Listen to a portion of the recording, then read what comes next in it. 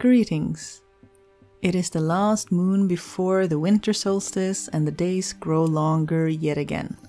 Also known as an excellent time to make things to give people to help them stay warm over winter.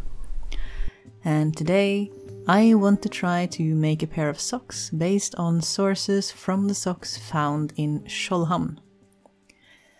I know I've mentioned Skjoldehamn on this channel before. It is an archaeological site discovered in Skjoldehamn in the northern parts of Norway, dated to between 936 and 1023 AD, placing it square in the Viking Age. Whether it belonged to a Viking is still up for debate, though, as experts argue that the skeleton is too slight of a build for a Norseman, but genetic material was also too deteriorated to identify a Y chromosome or any Sami markers. The past being the past, though, it was at some point assumed to be a white Norse woman because the lack of Sami markers were somehow more important than the lack of a Y chromosome. We can all agree that centering whiteness as the norm is problematic, right?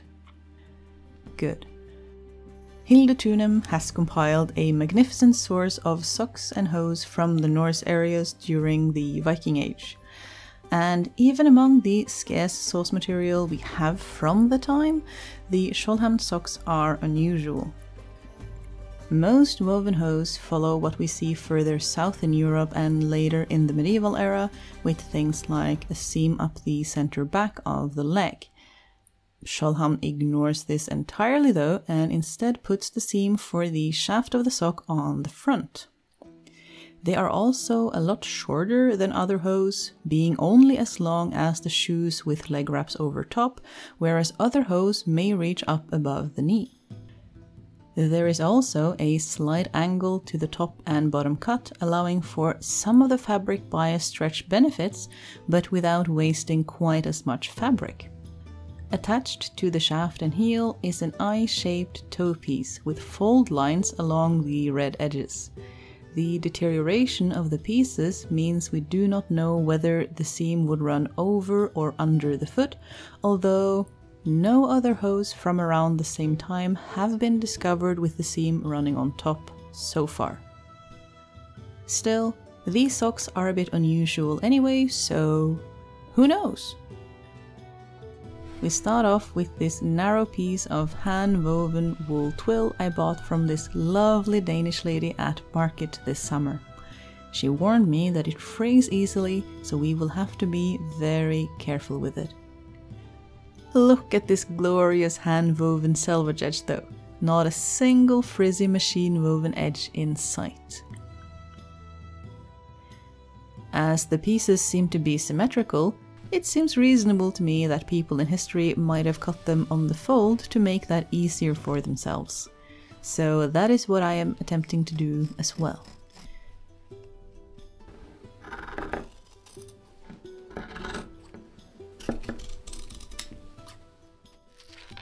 There is absolutely no need for me to use my Iron Age reproduction sewing needle for this, but I have it, so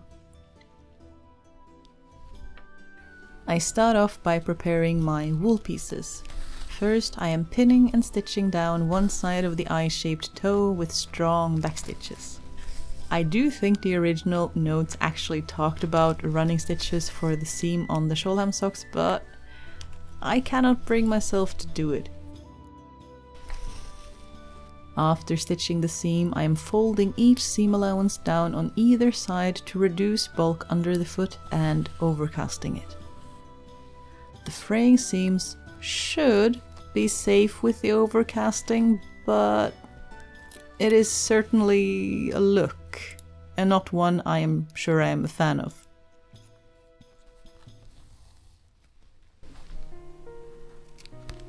After finishing our toe friend, we are moving on to the heel, which is very much getting the same backstitch treatment. This wool is a joy though, I don't know what it is, but I prefer my wool to retain a subtle scent of the sheep it came from. Not too intense, of course, but I really like it to have a little bit of it. Makes me feel grounded and connected to the earth it came from. After overcasting the heel as well, we must make the difficult decision of whether to place the seam on the toe piece above or underneath the foot. I don't really think there's a right answer to this. I'm going to go with underneath, if for no other reason than it'll continue the heel seam all the way to the toe that way. Pinning was done, and we return to our faithful backstitch for this last assembly. This really is a quick little project.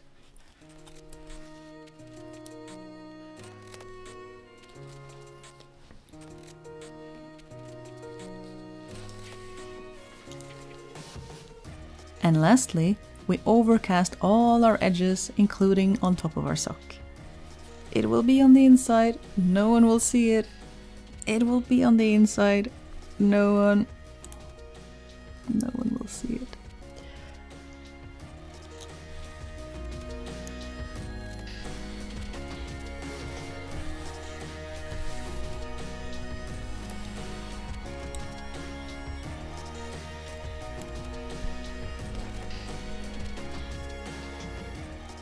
But the top of the sock, people might see that. We are folding that double for neatness.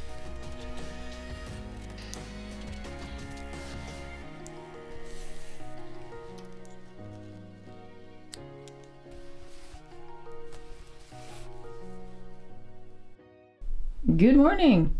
It is the next morning and I finished overcasting all these seams, but as expected, I really don't like this raw unfinished edge, even though it is overcast and should be theoretically safe, despite, you know, this being much flatter, this corner right here. So, in the dark of the night, last night, uh, when the light was trash, I cut out the rest of the wool and I made a new pair with, you know, taller uh, last because this was the rest of the wool and I wanted to utilize it as well as possible.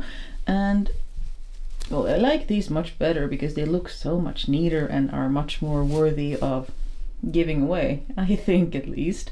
But now we do have this section down here that is quite thick and might disturb someone if they are bothered by that kind of thing under their foot.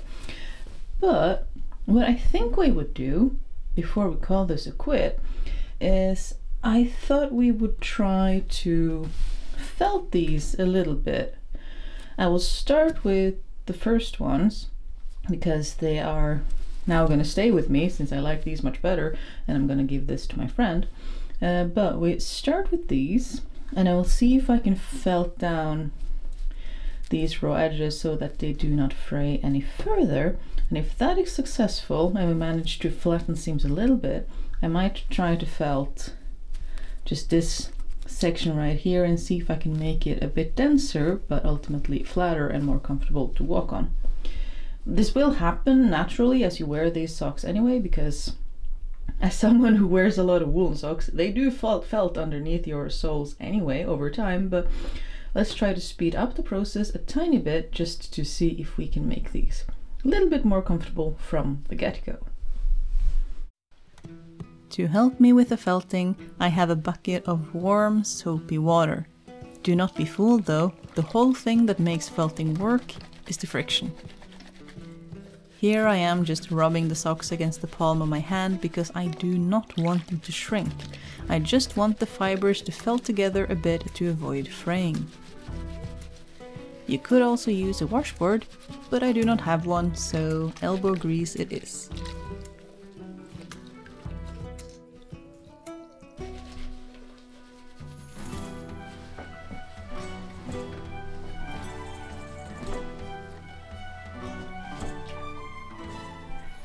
After felting the seams, I am rinsing out the soap in some clean water and laying them out to dry on a clean towel.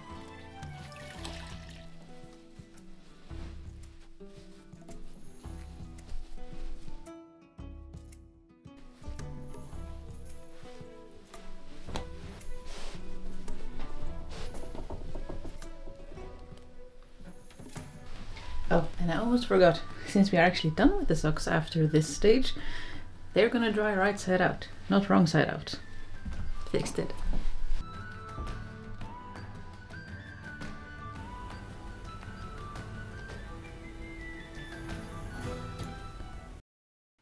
And there we have it. Two pairs of socks inspired by the sock fragments found in Skjoldehamn. Felted for seam protection and ready to help keep feet warm.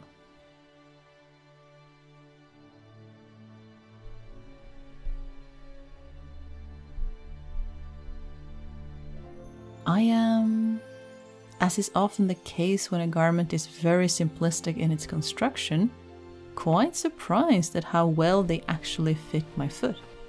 The first pair fit me the best, and because I knew this, I cut the second pair a little longer as my friend has slightly larger feet than me.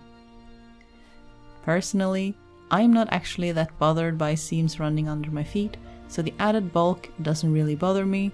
If anything, the biggest bulk is cleverly placed to hit the arch under the foot where it is the least bothersome.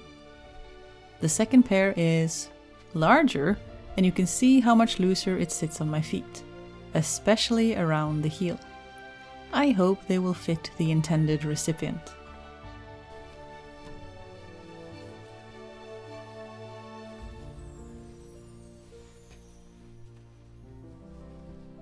And winter solstice gifts must, of course, be wrapped in red.